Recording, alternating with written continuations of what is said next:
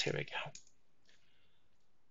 So the question was regarding if I've tested the uh, toast notification from Martin, uh, because I cannot change the website or the company website.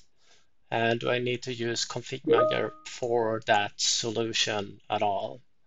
I uh, I have not used this outside of config manager, uh, this particular solution, but I can't really see why not, because all in all, it's in the end of it, it's a, it's a script that runs on the client. And as long as that script have enough permissions to do what the script is supposed to do, it should run just fine.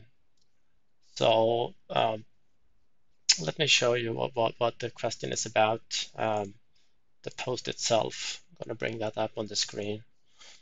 So uh, going to do this full screen for now. So let me just switch over here. Perfect. Um, so the, the question was regarding this toast notification solutions for Martin, whether that can be run outside of config manager or not.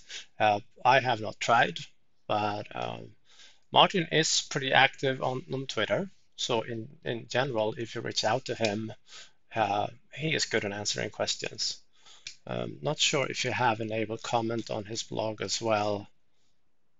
Yeah, he does.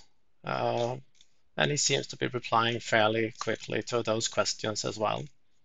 So do leave a comment here for Martin, and I'm pretty sure he will uh, look that up or answer that question. Um, let me see if I can find his here.